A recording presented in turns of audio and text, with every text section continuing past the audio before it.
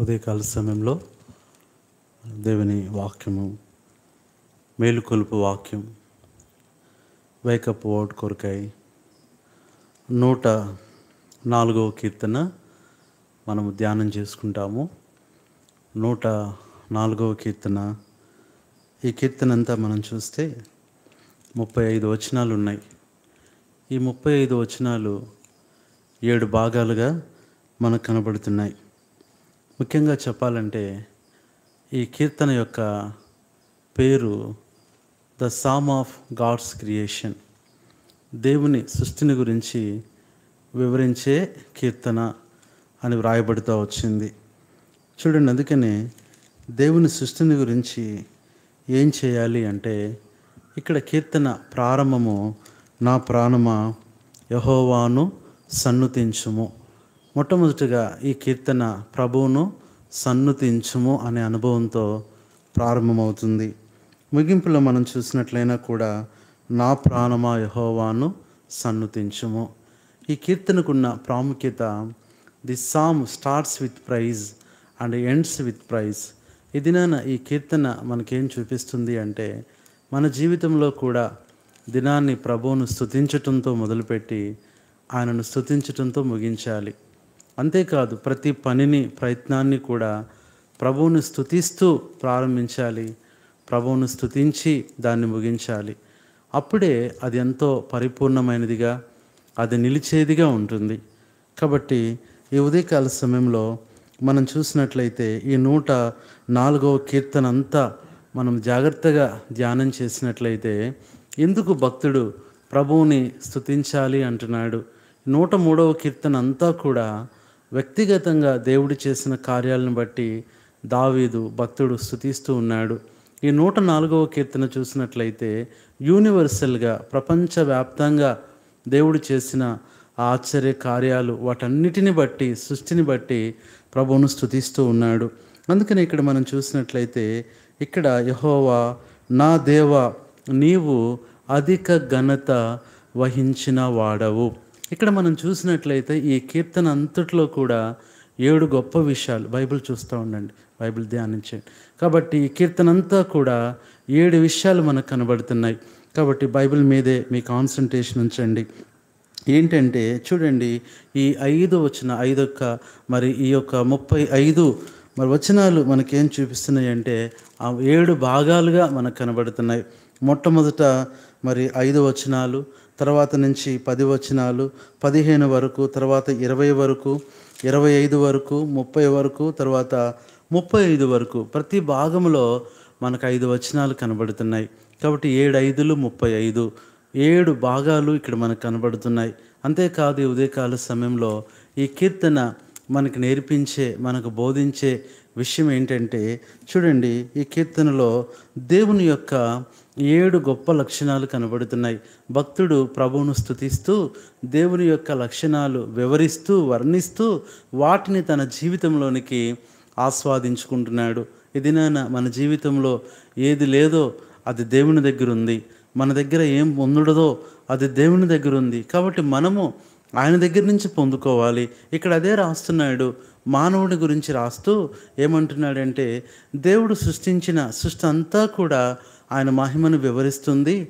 ఆయన దగ్గర నుంచి ఆ శక్తిని కానీ ఆయన కృపను కానీ పొందుకుంటుంది. అందుకని ఇక్కడ మనం చూస్తే ఆకాశం గురించి రాస్తున్నాడు భూమి గురించి రాస్తున్నాడు ఆ తర్వాత అరణ్యం గురించి రాస్తున్నాడు జంతువుల గురించి రాస్తున్నాడు పశువుల గురించి రాస్తున్నాడు పక్షుల గురించి చూ రాస్తున్నాడు ఇంకా పర్వతాల గురించి రాస్తున్నాడు ఇంకా అనేకమైన విషయాలు. చివరికి వచ్చేసరికి మనుషుల గురించి కూడా ఈ కీర్తనలో రాస్తున్నాడు. అంటే ఇవన్నీ కూడా దేవుని యొక్క కృపను పొందుకోవటానికి దేవుని యొక్క దయను పొందుకోవటానికి ఎంతో ప్రయత్నిస్తున్నాయి.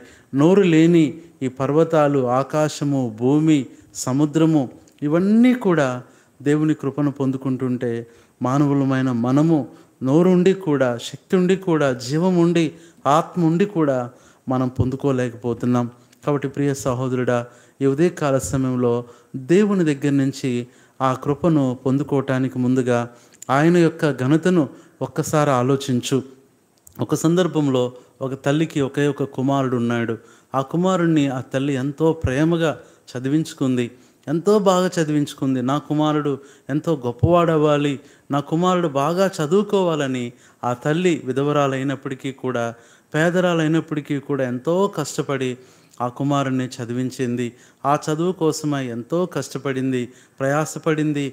తనకున్నవన్నీ కూడా అమ్మేసింది. తనకున్న ఒక చిన్న పొలము తనకున్న భూమి తనకున్న ఇల్లు తనకున్న వస్తువులన్నీ కూడా అమ్మేసింది. ఒకటే ఏంటంటే ఆమె ఆశ నా కుమారుడు ప్రయోజకుడు అవ్వాలి నా కుమారుడు గొప్పవాడు అవ్వాలి నా కుమారుడు ఉన్నత స్థితిలో ఉంచాలి. అంతేకాదు ఆమె విశ్వాసం నిరీక్షణ ఏంటంటే నేను ఇవన్నీ పోగొట్టుకున్నా అమ్ముకున్న ఒక దినాన నా కుమారుని ద్వారా మరలా అవన్నీ నేను పొందుకోవచ్చు అన్న నిరీక్షణ. నిజంగానే అలాగే ఆ కుమారుడు పెద్దవాడయ్యాడు. ఆ కుమారుడిని బాగా చదివించింది. ఆ కుమారుడికి ఒక మంచి ఉద్యోగము వేరే దేశంలో ఉంది అమెరికాలో ఉంది. తల్లికి చెప్పాడు అమ్మ అమెరికాలో నాకు మంచి ఉద్యోగం వచ్చింది నేను వెళ్ళాలి. మరి ఇంత ఖర్చు అవుతుందంటే ఆ తల్లి ఎంతో మరి అప్పు చేసి ఆ కుమారుణ్ణి అమెరికా పంపించింది. ఆ కుమారుడు అమెరికా వెళ్ళేటప్పుడు ఆ తల్లితో చెప్పిన మాట తన చేతులు పట్టుకొని అమ్మ నా కోసం నువ్వు ఎంతో కష్టపడ్డావు. నీ జీవితం అంతా కూడా వృధా చేసుకున్నావు. నువ్వు తినకుండా నన్ను తిని నాకు తినిపించావు. నువ్వు రెస్ట్ లేకుండా నన్ను ఎంతగానో చదివించావు కష్టపడ్డావు అని తన చేతులు పట్టుకొని ఆ కుమారుడు చెప్పిన మాట ఏంటంటే అమ్మ నువ్వేదైతే పోగొట్టుకున్నావో అది తప్పనిసరిగా నీ కుమారుడిగా నేను సంపాదిస్తాను నేను వెళ్తున్నాను నా ఉద్యోగంలో నాకు వచ్చే జీతము నేను కొంచెం మాత్రం అక్కడ ఉంచుకొని నా ఖర్చులకు మిగతాదంతా నీకు పంపిస్తానని చెప్పినప్పుడు ఆ తల్లి చాలా సంతోషించింది. తను పంపించే జీతం కన్నా తన కుమారుడు గొప్పవాడయ్యాడు విదేశాలకు వెళ్తున్నాడని ఎంత ఆనందపడింది. కుమారుడు వెళ్ళిపోయాడు నెల రోజులైంది. కుమారుని దగ్గర నుంచి ఎలాంటి కూడా ఆ రెస్పాన్స్ లేదు. ఆ తర్వాత రెండో నెలలో కుమారుడు ఏదో ఉత్తరం రాశాడు. ఆ తర్వాత ఆ తర్వాత ఇట్లా దినాలు గడిచే కొద్దీ నెలలు గడిచిపోతున్నాయి కానీ ఆ కుమారుడి దగ్గర నుంచి ఎలాంటి డబ్బులు రావట్లేదు. ఆమె చాలా కృంగిపోయింది. నేను ఎంతో ఆశతో నమ్మకంతో అప్పు చేశాను కదా. సరే అమ్మేసినవన్నా నేను పొందుకోలేను కానీ అప్పన్నా తీర్చాలి కదా. ఎలాగా అని బాధపడుతూ దిగులు పడుతూ కుమారుడు తన్ను మోసం చేశాడా? కుమారుడు తన్ను మర్చిపోయాడా? అనే దిగులుతో ఆ తల్లి చాలా బలహీనమైపోయింది. అలాగ దాదాపు సంవత్సర కాలం గడిచిన తర్వాత ఆ కుమారుని యొక్క స్నేహితుడు వెళ్తూ వెళ్తూ ఆ తల్లిని పలకరించాలని వచ్చి ఆ తల్లితో మాట్లాడినాడు. అమ్మ ఎలా ఉన్నావు? బాగున్నావా? అంటే ఆ తల్లి తన దుఃఖమంతా కూడా తన కుమారుని స్నేహితుడితో చెప్పి ఆయన నువ్వు కూడా నా కుమారుడు లాంటి వాడు ఇదిగో నీ స్నేహితుడు ఇలా చేశాడు ఇట్లాగ మోసం చేశాడు తల్లిని పట్టించుకోవట్లేదు నాకేమీ కూడా వారు పంపించట్లేదు అప్పులు వాళ్ళు వస్తున్నారు ఏం చేయాలో అర్థం కావట్లేదు అన్నీ పోగొట్టుకున్నాను ఇక ప్రాణం మాత్రం మిగిలిందని. ఆ తల్లి కన్నీటితో అతను కుమారుని స్నేహితుడు చెప్పినప్పుడు తను కూడా చలించిపోయాడు. అయితే తన ఆ కుమారుని స్నేహితుడు చెప్పిన మాట ఏంటంటే అమ్మ నేను కూడా ఉత్తరం రాశాను నాకు కూడా ఉత్తరం రాస్తున్నాడు అప్పుడప్పుడు. అమెరికా నుంచి నాకు కూడా ఉత్తరం వస్తుంది. అయితే ఒక విషయం ఏంటంటే నీకు ప్రతి నెల కావలసినవి పంపిస్తున్నాను అని చెప్పాడు నాతో. మరి ఎందుకు ఇలా చెప్పాడంట? తల్లంది అయ్యా వాడు పంపిస్తే నేను ఎందుకు ఇలా ఉంటా? ఎందుకు ఇంత బాధగా ఉంటా? కనీసం నా అనారోగ్యానికి మందులు వాడటానికి కూడా డబ్బులు లేవు పని చేయడానికి శక్తి లేదు అని ఆమె దుఃఖపడినప్పుడు మరి ఎందుకు ఇలా చెప్పాడు అంటే సరే అమ్మ నీకు ఏమేం పంపించాడో ఒకసారి చెప్పన్నప్పుడు ఆ తల్లి చెప్పింది అయ్యా వాడు ఉత్తరాలు పంపించాడు. ఉత్తరాలతో పాటు ఇంకేం పంపించాడంటే ఉత్తరాలతో పాటు ఏవో కాగితాలు పంపిస్తున్నాడయ్యా వాడు రంగు కాగితాలు పంపిస్తున్నాడు కానీ ఏమాత్రం కూడా కొంచెం కూడా వాడు మరి ఆర్థికంగా నాకు సహాయపడలేకపోతున్నాడంటే అప్పుడు చెప్పాడంట అమ్మ వాడు పంపించిన ఆ కాగితాలు ఆ ఉత్తరాలు ఏవి అంటే ఆ తల్లి చెప్పింది నా కుమారుడు నన్ను మోసం చేశాడు మర్చిపోయాడన్న బాధతో వాటన్నిటినీ కూడా నేను పొయ్యి దగ్గర వేశానయ్యా. అవి పొయ్యిలో మరి కాల్చేశానన్నప్పుడు ఎంత పని చేసావమ్మా అని ఆ పొయ్యి దగ్గరికి వెళ్ళినప్పుడు కొంచెం కాలిన ఆ ఉత్తరము కొంచెం కాలిన ఆ రంగు కాగితం కనపడింది. వెంటనే ఆ సహోదరుడు ఆ స్నేహితుడు వెంటనే తీసుకొని అమ్మ ఇవేనా నీకు ప్రతి నెల పంపించేదంటే అవునయ్యా. ప్రతి నెల ఇవి పంపిస్తున్నాడు. ఒక ఉత్తరము అందులో ఒక రంగు కాగితము.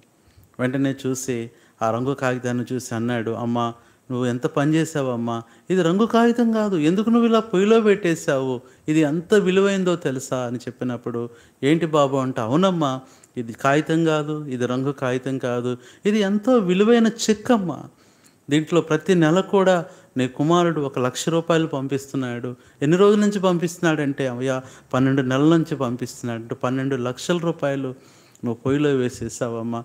ఇప్పటికీ నీ అప్పులు తీరిపోయాయి. నువ్వన్నీ కూడా పోగొట్టుకున్నవన్నీ కూడా మరలా కొనుక్కునే దానివి కదా. ఇలా పంపించాడన్నప్పుడు ఆ తల్లి ఎంతో దుఃఖపడి అయ్యో నా కుమారుని నేను ఎంతో దూషించాను ఎంతగానో బాధ పెట్టాను అంతేకాదు నా కుమారుడు పంపించేది నేను అర్థం చేసుకోక అనవసరంగా నేను అగ్నిపాలు చేశానని ఎంతో బాధపడుతూ వచ్చింది. ప్రియ సహోదరుడా సహోదరి మనం కూడా చాలాసార్లు దేవుడు మనకి అన్నీ కూడా మన అక్కర్లు తీరుస్తూ అవసరాలు తీరుస్తూ మనకు కావలసినవన్నీ ముందుగానే సిద్ధపరిచి ఉంచి మనకిచ్చేశాడు కానీ ఆ తల్లిలాగా కొన్నిసార్లు మనం దేవుణ్ణి అపార్థం చేసుకుంటున్నాం దేవుణ్ణి సందేహిస్తున్నాం. అంతేకాదు దేవుడిచ్చేవి ఏంటో తెలుసుకోలేకపోతున్నాం వాటిని ఎలా ఉపయోగించుకోవాలో అర్థం చేసుకోలేకపోతున్నాం. నువ్వు నేను కూడా ఈ దినాన దేవుని యొక్క ఆ కృపను ఆ ఘనతను ఆ మహిమను పొందలేకపోతున్నామంటే మన అజ్ఞానము మన అవివేకము ప్రియులారా కాబట్టి ఈ దినాన సృష్టి అంతా కూడా ఆయన యొక్క కార్యాలు అనుభవిస్తూ కృపను పొందుతున్నప్పుడు దయను పొందుతున్నప్పుడు ఈ దినాన నువ్వెందుకు పొందకూడదు? సృష్టిలో ప్రతిదీ కూడా ఎంతో విలువైందే ఘనమైనదే. అయితే వాటన్నిటికంటే ఎక్కువ విలువతో దేవుడు నిన్ను చేశాడు. ఈ సృష్టిలో అన్నిటికంటే ఎక్కువ ఘనత నీకు ఇచ్చాడు మహిమ నీకు ఇచ్చాడు ప్రభావం నీకు ఇచ్చాడు కృపనిచ్చాడు ఆధిక్యతనిచ్చాడు. కాబట్టి దినాన నువ్వు నీ దృష్టికి అల్పుడవు కావచ్చు. నీ పక్కన వాళ్ళకి నువ్వెంతో హీనుడవు కావచ్చు కానీ దేవుని దృష్టిలో నువ్వెంతో ప్రాముఖ్యమైన వాడివి. దేవుని దృష్టిలో నువ్వెంతో ఘనమైన వాడివి. ఇతరులు నిన్ను అసహించుకోవచ్చు కానీ నీ యొక్క ప్రత్యేకత నీ ఘనత అది దేవునికి తెలుసు. ఇప్పుడు అసహించుకున్న వాళ్ళే రేపు నిన్ను ఘనపరుస్తాడు. ఇప్పుడైతే నిన్ను తోసివేసిన వాళ్ళు రేపు నిడిదినాన నిన్ను మరలా తీసుకుని వస్తారు. ఎవరైతే నిన్ను అవమానపరిచారో దేవుడు వారి చేతనే నీకు ఘనత ఇస్తాడు. నీ దుఃఖము నీ బాధ నీ వేదన ఎల్లప్పుడూ ఇలా ఉంటుందని అనుకోవద్దు. దేవుని యొక్క శక్తిని ఉదయకాలం ఒక్కసారి ఆలోచించు ఆయన ప్రభావాన్ని ఆలోచించు. అందుకని ఈ కీర్తన మొత్తంలో దేవుని యొక్క ఏడు గొప్ప లక్షణాలు రాస్తున్నాడు. మొట్టమొదటి మనం చూస్తే నూట నాలుగవ కీర్తన ఆ మొదటి వచనం రెండవ లైన్లో యహోవా నా దేవా నీవు అధిక ఘనత వహించిన వాడవు. దేవుని యొక్క గుణ లక్షణము ఘనత ప్రియులారా ఆ ఘనతను మనం గుర్తించి ఆ ఘనతను మనం పొందుకోవాలి. మనం దేవుణ్ణి గనపరిచినప్పుడు ఆయన తప్పక మనల్ని గనపరుస్తాడు ఈ దినాన నువ్వు ఇంత హీనదశలో ఉన్నావు ఇంత కృంగిపోయావు అంటే ఒకటే దేవుణ్ణి నువ్వు గనపరచటలేదు ఆయన గనపరచాలి ఆయన అధిక ఘనత వహించిన వాడు. మామూలు ఘనత కాదు మహాఘనత గొప్ప ఘనత శాశ్వతమైన ఘనత.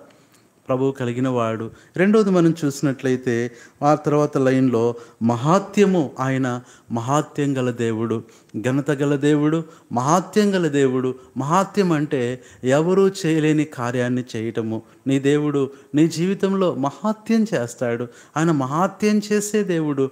ఎన్ని మహాత్యాలు ఆయన చేయాలని నీ దగ్గరికి వస్తున్నాడో ఇంకా నువ్వు ఆయనకి విధేయత చూపట్లేదు ఇంకా ఆయన నువ్వు నమ్మట్లా ఇంకా ఆయనకు లోబడట్లేదు ఇంకా ఆయన మీద నువ్వు ఆధారపడట్లేదు. కాబట్టి ఆయన మహాత్యాన్ని గురించి రాస్తున్నాడు. మూడవది చూస్తే పక్కనే ఆయన ప్రభావము ఆయన యొక్క ప్రభావము లేదా ఆయన శక్తి బలము గురించి రాస్తున్నాడు. ఇది నాన్న నువ్వు బలహీనుడు కావచ్చు కానీ దేవుడు ఎంత బలవంతుడో ఆ ప్రభావాన్ని నీకు ఇవ్వటానికి ఆయన ఇష్టపడతాడు. ఒక తండ్రి ఆ కుమారుడు తన సొంత కుమారుడు ఆ తండ్రి వస్తువు ఏది ముట్టుకున్నా కానీ ఏమనడు. కారణం ఏంటంటే నా కుమారుడు. కొన్ని కొన్నిసార్లు కొంతమంది పిల్లలు వాళ్ళ తండ్రి యొక్క ఆఫీస్కి సెలవు రోజుల్లో వెళ్తారు. కొన్నిసార్లు సంతోషంగా ఆ తండ్రి యొక్క ఆ ముఖ్యమైన చైర్లో వారు కూర్చుంటారు ఆఫీస్లో కూర్చుంటారు. ఆ తండ్రి ఏమాత్రం కూడా బాధపడు ఎందుకంటే నా కుమారుడే. ఆ ఆఫీస్లో ఎవరు కూర్చున్నా అది తప్పే. ఆ యజమాని లేదంటే ఆ మేనేజర్ అధికారి ఒప్పుకోడు కానీ తన కుమారుడు కూర్చుంటే ఎంతో సంతోషిస్తాడు ఆనందిస్తాడు ఇంకొంతసేపు కూర్చో అంటాడు. మన దేవుడు కూడా అంతే. నీ కొరకు నా కొరకు ఆయన ప్రభావాన్ని ఆయన ఘనతను ఇవ్వటానికి ఇష్టపడుతున్నాడు. కాబట్టి మనుషుల గురించి ఎందుకు నువ్వు దిగులు పడుతున్నావు? మనుషులు గనపరచాలని నువ్వు కోరుకోవద్దు. దేవుడు నిన్ను గనపరుస్తాడు మనుషులు నిన్ను ప్రేమించాలని ఆరాటపడొద్దు. దేవుడు నిన్ను ప్రేమిస్తున్నాడు. మనుషులు నీ దగ్గరికి రావాలని కృంగిపోవద్దు. ప్రభువు నిత్యము నీతో ఉన్నాడు. అందరికంటే గొప్పవాడు. ఆయన ఎంతో మహోన్నతుడు. కాబట్టి ఇక్కడ మూడవదిగా ఆయన ప్రభావం గురించి రాస్తున్నాడు. రెండవ వచనంలో నాలుగవ మాట వస్త్రము వలె వెలుగును నువ్వు కప్పుకొని ఉన్నావు. నాలుగవది చూస్తే ఆయన వెలుగు. ఆయన ఎంత వెలుగు కలిగిన దేవుడు అంటే ఈ దినాల్లో చూడండి ప్రతి వ్యాధికి ప్రతి రోగానికి చికిత్స లేజర్ లైట్. అంటే ఈ దినాన శాస్త్రం తెలుసుకున్నది ఏంటంటే వెలుగు ద్వారా ఏదైనా చేయవచ్చు. వెలుగు ద్వారా ఏదైనా బాగు చేయవచ్చు మొన్న దినాన ఒక సహోదరులు నాకు ఫోన్ చేసి చెప్పారు అయ్యా ఆపరేషన్ కంట ఆపరేషన్ అంటే నేను ఎంతో భయపడిపోయాను. ఏదేదో చేస్తారనుకున్నాను కానీ ఐదు నిమిషాలు కూడా పట్టలేదు. అదేదో లేజర్ వెలుగుతో చేశారు. అది వెంటనే క్లియర్ అయిపోయింది. నాకు ఎంతో బాగుంది అన్నాడు చూడండి ఇది నాన్న. ఈ వెలుగు దేవుని వెలుగు ఎంత గొప్ప వెలుగు. మామూలు వెలుగే ఈ కరెంటు వెలుగే ఈ ఎలక్ట్రానిక్ వెలుగే బ్యాటరీ వెలుగే ఇంత బాగు చేస్తుంటే ఇంత నయం చేస్తుంటే ఇంత రోగాలను మరి నయం చేస్తూ బాగు చేస్తుంటే మరి దేవుని వెలుగు నీ జీవితంలో ఉన్న ప్రతి సమస్యను బాగు చేయగలదు. ప్రతి శోధనను బాగు చేయగలదు. నీ శరీర రోగమే కాదు ఆత్మ సంబంధంగా నీ కృంగుదల వేదన ప్రతిదీ కూడా దేవుని వెలుగులో నయమైపోతుంది కాబట్టి నాలుగవది ఆయన వెలుగు గురించి రాస్తున్నాడు. ఐదవ మాట మనం చూసినట్లయితే ఇదే కీర్తన ఇంకా కిందకు వచ్చేస్తే నూట నాలుగవ కీర్తన ఐదవది దేని గురించి రాస్తున్నాడంటే ఇరవై నాలుగవ వచనం. యహోవా నీ కార్యములు ఎన్నెన్ని విధములుగా ఉన్నవి జ్ఞానము చేత నీవు వాటిని నిర్మించి. ఐదవది చూస్తే ఆయన జ్ఞానము ఎంత జ్ఞానం గలవాడో చెప్పడానికి వీల్లేదు. ఈ రోజున కొన్నిసార్లు మనకు జ్ఞానం ఉండదు. నా ప్రజలు జ్ఞానము లేకయే నశించిపోతున్నారని ఓష్య గ్రంథంలో ప్రభు ఎంతో బాధపడుతూ వచ్చాడు. ఏదైనా జ్ఞానం లేదు. కొన్నిసార్లు మరి వ్యక్తిగతంగా జ్ఞానం ఉండదు. కుటుంబంలో కూడా పరిస్థితిని ఎట్లా చక్కబెట్టుకోవాలో జ్ఞానం ఉండదు. ఒకరితో ఒకరు ఎలా మాట్లాడాలో జ్ఞానం ఉండదు. ఎలా సమాధానం చెప్పాలో జ్ఞానం ఉండదు. ఇది నా జ్ఞానము లేక ప్రజలు నశించిపోతున్నారు నష్టపోతున్నారు బాధపడాల్సిన పని లేదు. అసలు జ్ఞానం అనే పేరు కలిగిన నీ దేవుడు నీకున్నాడు. కావలసినంత జ్ఞానం ఇస్తాడు. ఇది నాన్న ఏ జ్ఞానం కావాలి? పరీక్షల్లో జ్ఞానమా? పరిస్థితుల్లో జ్ఞానమా? ప్రత్యర్థుల విషయంలో జ్ఞానమా? ఏ విషయంలోనైనా దేవుడు జ్ఞానం ఇస్తాడు కారణం నీ దేవుడు జ్ఞానమై ఉన్నాడు. The Lord is our wisdom ఇది ఐదవ మాటగా మనం చూస్తున్నాం. ఆరోదుగా మనం చూస్తే ఇరవై ఏడవ వచనంలో తగిన కాలమున నీవు వాటికి ఆహారం ఇచ్చేదవని ఇవన్నీ నీ దయ కొరకు కనిపెట్టుకునిచున్నవి. ఆరవది ఆయన దయ గురించి చెప్తున్నాడు. ఆయన ఎంత దయగలవాడో చెప్పడానికి వీల్లేదు. మనుషులు మన పట్ల దయగలిగి ఉండరు. మనుషులు నీ పట్ల జాలి చూపరు. మనుషులు నీ కన్నీరును ఎగతాళి చేస్తారు. నువ్వు కన్నీరు కార్చే కొద్దీ ఇంకా కన్నీరు పెట్టేటట్లు చేస్తారు కానీ నీ దేవుడు దయగలవాడు. నీ కన్నీటిని ఆయన కొలుస్తాడు. నీ కన్నీటిని దాస్తాడు. నీ కన్నీటిని ఆయన రాస్తాడు. నీ కన్నీటి బొట్టు ఏది కూడా వృధా కాదు. కారణం ఆయన దయగలవాడు. ఈ దినాన్ని ఆయన నీ పట్ల దయ చూపుతాడు. నీ పరిస్థితి ఎందుకు ఇలా ఉందని నువ్వు బాధపడొద్దు. కృంగిపోవద్దు. ఒక్క మాట గుర్తుపెట్టుకో. ఆయన దయగలవాడు.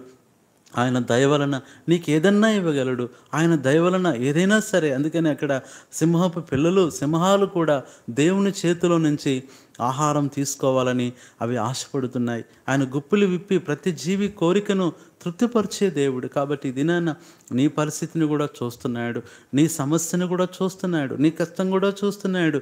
నువ్వు అనుకున్న దినం కంటే ముందుగానే అది తప్పనిసరిగా దేవుడు చేస్తాడు నిర్ణయిస్తాడు ఆయన పూర్తిగా జరిగిస్తాడు. బాధపడి మాకు దుఃఖపడ మాకు ఎంతోమంది జీవితాలలో ఈ పరిస్థితిని మనం చూస్తున్నాం. దేవుడు చేసిన కార్యాలు వారు వివరిస్తున్నారు. ఒక దినాన నువ్వు కూడా నిలబడి వివరించే దినం ఖచ్చితంగా ఉంటుంది కాబట్టి ఆరవది ఆయన దయ. ఏడవది మనం చూసినట్లయితే మొట్టమొదట ఆయన ఘనత రెండవది ఆయన మహాత్యం మూడవది ఆయన ప్రభావం నాలుగవది ఆయన వెలుగు ఐదవది ఆయన జ్ఞానము ఆరోజు మనం చూసినట్లయితే ఆయన దయ ఏడవది మనం చూసినట్లయితే ముప్పై ఒకటో వచ్చిన స్టార్ట్ అవుతుంది. యహోవా మహిమ నిత్యముండును. కాబట్టి ఆయన మహిమ గురించి రాస్తున్నాడు. ఎంత గొప్ప దేవుడండి. కాబట్టి ఇక్కడ ఈ ఏడు విషయాలు రాస్తూ ఇక్కడ ముప్పై ఐదు వచనాలు ఖచ్చితంగా రాస్తున్నాడు. ఇది నన్న ప్రియ సహోదరుడా ఇది మొదటి వివరణ అయితే. రెండవది ఒక్కొక్క ఐదో ఐదు వచనాల్లో దేని గురించి రాస్తున్నాడు? ఈ ఏడు భాగాలు ఏం చూపిస్తున్నాయో ఒకసారి ఆలోచించే ఆలోచించక ముందు ఒకసారి ఈ వాక్యాన్ని ఈ కీర్తనను ఈ మాటలను నీ జీవితంలోనికి నువ్వు అన్వయించుకో. ఎవరెవరో అన్న మాటలు పట్టించుకోవద్దు ఎవరెవరో చెప్పిన విషయాలు నువ్వు పట్టించుకోవద్దు నువ్వు పనికిరావు అని చెప్పిన వారు సిగ్గుపడే దినం వస్తుంది. నువ్వు ఇంకా బాగుపడవని ఎవరు చెప్పారు నీ గురించి? ఇంకా చెప్పాలంటే నీ పరిస్థితి చక్కపడదని ఎవరన్నారు నీ గురించి? నీ వివాహం కాదని ఎవరన్నారు? నీ సమస్యకు జవాబు రాదని ఎవరన్నారు? నువ్వు పాస్ అవ్వదని ఎవరన్నారు? దేవుని వాక్యం కంటే మనుషుల వాక్కు గొప్పది కాదు. దేవుని కంటే మనుషులు ఏమాత్రం గొప్పవాళ్ళు కాదు. ఇంకా చెప్పాలంటే నీ జీవితంలో మనుషుల ద్వారా నో అనే పలకబడిన ప్రతి మాటను కూడా దేవుడు ఎస్ అనే ఆ విధంగా మారుస్తాడు. కాదు అనేది అవునను మార్చగల నీ దేవుడు నీకుండగా. నువ్వు బాధపడొద్దు. వాటన్నిటినీ కూడా వచ్చే నిందలు అవమానాలు బాధలు వాటన్నిటినీ కూడా నెగిటివ్గా కాకుండా పాజిటివ్గా మార్చుకోవాలి. ఇతరులు తిడుతున్నారు అన్నప్పుడు వారు నన్ను పొగుడుతున్నారు అనుకోవాలి. ఇతరులు బాధ పెడుతున్నారు అన్నప్పుడు వారు నన్ను సన్మానిస్తున్నారు అనుకోవాలి. ఎందుకంటే ఇదే ప్రత్యేకమైన క్రైస్తవ జీవితం ఇదే విశ్వాస జీవితం ఇదే ప్రభు బిడ్డల జీవితం. కాబట్టి ఈ దినాన ఇంకా లోకస్తుల్లాగా నువ్వు కృంగిపోమాకు అన్యుల్లాగా బాధపడమాకు దేవుడు లేని ప్రజల్లాగా దిగులు పడమాకు వేదన పడమాకు అందరికంటే గొప్ప దేవుడు ఉన్నాడు. ఒక మాట దేవుణ్ణి అంతగా నువ్వు ప్రేమించగలుగుతున్నావా? ఇంత గొప్ప దేవునికి ఇచ్చే ఘనత నువ్వు ఇంకా మనుషులకి ఇస్తున్నావు. ఇంత దేవునికి ఇచ్చే ఆ మహిమ ఆ సమయము నువ్వు ఇంకా మనుషులకు పరిస్థితులకు వస్తువులకు ఇస్తున్నావు. దాని ద్వారా నువ్వు నష్టపోతున్నావు. కాబట్టి జీవం గల దేవుని యొక్క ఆ మహిమను ఘనతను పొందటానికి ఇష్టపడు. ముగింపులో మనం చూస్తే ఈ మొదటి భాగం మనం చూస్తే మొట్టమొదట దేవుని యొక్క ఏడు లక్షణాలు అలాగే ఈ కీర్తనలో ఉన్న ఏడు భాగాలు. ఈ ముప్పై ఐదు ఒక్కొక్కటి మనం ధ్యానించడానికి ఉదయకాలం సమయం చాలదు కానీ ఏడు భాగాలుగా మనం చూస్తే మొదటి ఐదు వచనాలు మనం చూసినట్లయితే గాడ్స్ క్యారెక్టర్. దేవుడు ఎలాంటి వాడు? అందుకని ఇందాక ఏడు క్యారెక్టర్స్ చూసాం. ఆయన ఎంత ఘనత ఎంత మహాత్యం ఎంత ప్రభావం ఎంత మహిమ జ్ఞానము దయ మహిమ అన్నీ కలిగిన వాడు. కాబట్టి ప్రియులారా ఇక్కడ మనం చూసినట్లయితే మొదటి ఐదు వచనాలు గాడ్స్ క్యారెక్టర్ దేవుని యొక్క ఆ ఆధిక్యత లేదంటే ఆయన లక్షణము ఆయన గుణగణాలు మనకు కనబడుతున్నాయి. ఇది మొట్టమొదటి భాగం. రెండవదిగా మనం చూసినట్లయితే ఆరు నుంచి పది వరకు గాడ్స్ క్రియేషన్ దేవుని యొక్క సృష్టి ఆయన ఎట్లాగా మరి సృష్టించాడు అడవులు మరి ఇంకా చెప్పాలంటే సముద్రాలు కొండలు ఆకాశము భూమి ఎట్లా చేస్తా వచ్చాడు? ఎలాగ కొండల పైన నీళ్ళు తీసుకుని వెళ్ళాడు? అక్కడి నుంచి మరలా అవి పొర్లి కిందకి పారేటట్లు చేశాడు. నిజంగా ఈ దినాన దేవుడు నీ జీవితంలో ఏదన్నా చేయగలడు. ఒక ఒక ఖాళీ స్థలాన్ని సముద్రంగా మార్చగలడు. ఒక సముద్రాన్ని ఆయన ఎడారిగా చేయగలడు. ఎడారిని సముద్రంగా సముద్రాన్ని ఎడారిగా మార్చగలిగిన శక్తి దేవునికి ఉంటే నీ సమస్యను ఆయన మార్చలేడా? కాబట్టి రెండవ భాగం ఏం చూపిస్తుందంటే నీ జీవితంలో ఆయన ఏదన్నా చేయగల దేవుడు ఏదైనా సరే ఆయన అసాధ్యమైనది ఆయన ఏదీ లేదు నీ జీవితంలో చేస్తాడు. ఇది రెండవ భాగంగా చూస్తున్నాం. మూడవ భాగంగా మనం చూస్తే పదకొండు నుంచి పదిహేడు వరకు గాడ్స్ కన్సర్న్ ఆయన నీ విషయంలో ఎలా సహాయం చేస్తాడు? అడవి జంతువులకు ఆయన దాహం ఇస్తున్నాడు వాటికి దప్పి తీరుస్తున్నాడు పక్షులను పోషిస్తున్నాడు ఇంకా చెప్పాలంటే పశువులకు గడ్డిస్తున్నాడు. ఆయన కన్సర్న్ కలిగిన దేవుడు. ఇలాంటి జీవము లేని నోరు లేని కొద్ది కాలం ఉండే ఇలాంటి జీవులకే దేవుడు ఇన్నిస్తుంటే నీకివ్వలేడా? నువ్వు జీవం గల దేవుని కుమారుడవు జీవం గల దేవుని సృష్టికర్త కుమార్తెవు నీకు కూడా ఇస్తాడు. బాధపడు మాకు. ఈ కీర్తన ద్వారా ఈ మాట ద్వారా దేవుడు నిన్ను ఎంతో కన్సర్న్ చేయాలని ఆశపడుతున్నాడు. ఇది మూడవ భాగం. నాలుగోది మనం చూస్తే పదహారు నుంచి ఇరవై వరకు గాడ్స్ కౌన్సిల్. ఆయన కౌన్సిల్ చేస్తాడు. ఆయన నీకు ఆలోచన చెప్తాడు. ఆయన నీకు సమాధానం ఇస్తాడు. ఆయన నీకు తోడుగా ఉంటాడు. అదే అంటున్నాడు పక్షుల విషయంలోనేమి? అక్కడ చూస్తే వృక్షాల విషయంలో కుందేళ్ళ విషయంలో జంతువుల విషయంలో సూర్యుని విషయంలో ఇంకా అడవి జంతువులు అన్ని విషయాల్లో కూడా ఆయన కౌన్సిల్ ఏది ఎలా చేయాలో ఏది ఎలా మాట్లాడాలో ఏది ఎలా నడవాలో సమస్తం కూడా నీకు బోధిస్తాడు. నువ్వు బాధపడు మాకు. అది మనము నాలుగో భాగంగా చూస్తున్నాం. ఐదోది మనం చూసినట్లయితే ఇరవై ఒకటి నుంచి ఇరవై ఒకటి నుంచి ఇరవై ఐదు వరకు మనకు కనపడుతుంది. ఇక్కడ ఏం చూపిస్తున్నాడంటే ఏం కనపడుతుంది గాడ్స్ కేర్ దేవుడు నీ విషయమై ఎంత కేర్ తీసుకుంటాడు ఆయన నీ విషయమై ఎంత శ్రద్ధ వహిస్తాడో కనపడుతుంది. ఎందుకంటే ఆయన కార్యాల గురించి ఇక్కడ రాస్తున్నాడు. ఆయన ఎంతగా నీ జీవితంలో సహాయం చేస్తాడు. ఆ తర్వాత ఆ రోజు చూస్తే ఇరవై ఆరు నుంచి ముప్పై వరకు గాడ్స్ కంపాషన్ ఆయన నీ పట్ల ఎంత జాలి ఎంత కృప చూపుతాడు. ఎదినైనా నీ మీద జాలిపడే దేవుడు నీ మీద జాలిపడు యహోవా. అని ఆయనకి పేరుంది. ఇది ఆరవ భాగం. ఏడవది చివరిది మనం చూస్తే ముప్పై ఒకటి నుంచి ముప్పై ఐదు చివరి వరకు గాడ్స్ కంటెంట్మెంట్ ఆయన యొక్క సంతోషం ఆయన యొక్క ఆనందం మనకు కనబడుతుంది అదే అంటున్నాడు యహోవా తన క్రియలను చూచి ఆనందించును గాక. ఇది నాయన ప్రియ సహోదరుడా ఈ ఏడు భాగాలు క్లుప్తంగా వివరించినప్పటికి కూడా ఒక విశ్వాసి జీవితాంతము పొందుకోవలసిన ఆనందించవలసిన ఆ విషయాలన్నీ కూడా ఇక్కడ రాస్తూ వచ్చాడు. కాబట్టి ఇంకా నువ్వు దుఃఖపడొద్దు బాధపడొద్దు. ప్రతి వచనం నీతో మాట్లాడుతుంది. ప్రతి భాగము నీకు ఆదరిస్తుంది వివరిస్తుంది. కాబట్టి దినాన ఏడు అనుభవాలు కలిగి ఒక దినాన నువ్వు కూడా మరి దేవుని యొక్క ఆ ఘనతను మహిమను నువ్వు చూచేవాడుగా ఉంటావు. ఇప్పుడున్న ఈ దీనస్థితి రేపు నీకు ఉండకపోవచ్చు. ఇప్పుడున్న కన్నీరు నువ్వు కావాలన్నా రేపు నువ్వు చూడకపోవచ్చు. నీ కన్నీరు ఆయన నాట్యంగా చేసే దేవుడు నీ దుఃఖము సంతోషంగా చేసే దేవుడు నీ అవమానాన్ని ఘనతగా చేసే దేవుడు. కాబట్టి ఈ నూట నాలుగవ కీర్తన ప్రియులారా దేవుడు నీ జీవితంలో నెరవేర్చడానికి ఆయన ఆశపడుతున్నాడు.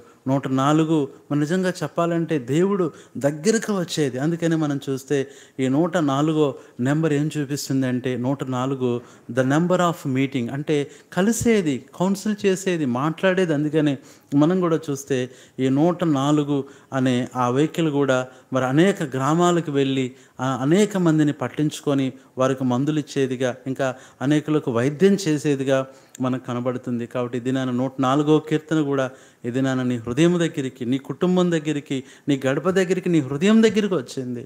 నీకున్న బాధ ఏదో చెప్పు నీకున్న సమస్య ఏదో చెప్పు నీకున్న వ్యాధి ఏదో చెప్పు ఆ కీర్తనలో ఉన్నది జీవం గల దేవుడు ఆయన సృష్టికర్త నీ పరిస్థితి అంతా మారుస్తాడు. ఇది నాన్న మారదు నువ్వు అనుకుంటున్నావేమో ఖచ్చితంగా ఒక్క క్షణం ఆలోచించు ఆయన ఎంత విశ్వాసం ఉంచు ఆధారపడు.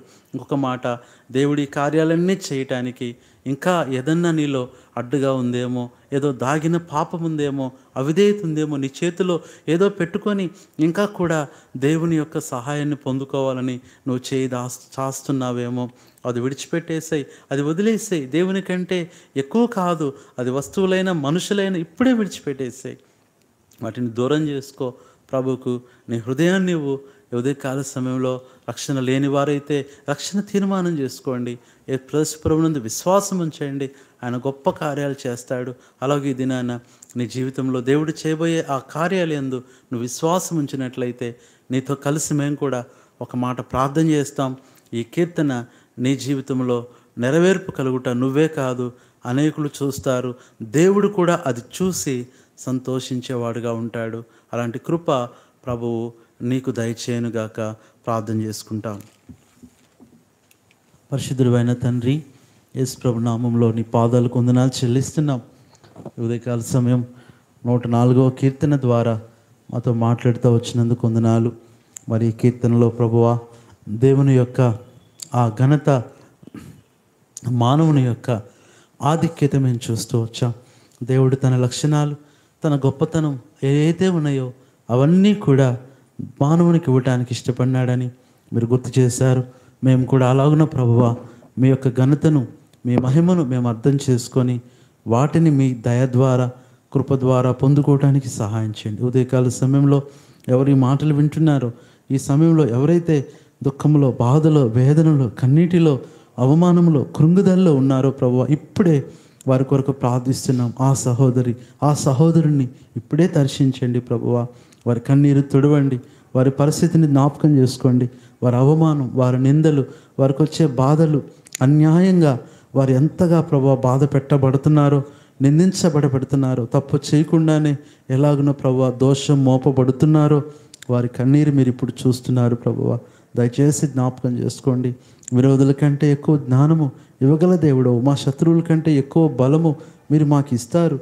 కాబట్టి ఈ దినాన నీ బిడ్డలను జ్ఞాపకం చేసుకొని ధైర్యపరిచి మీరే ప్రభువ వారి ప్రతి కన్నీరు తుడిచి ఈ ఉదయకాలం ఇప్పుడే ఈ మాటలు వింటూ వారు ప్రార్థిస్తూ ఉండగా వారి జీవితంలో గొప్ప కార్యం చేయమని మీరు చేశారని నమ్మి మిమ్మల్ని స్థుతిస్తూ వందనాలు చెల్లిస్తూ ప్రవణేశు క్రీస్తు నామంలో ప్రార్థిస్తున్నాము తండ్రి.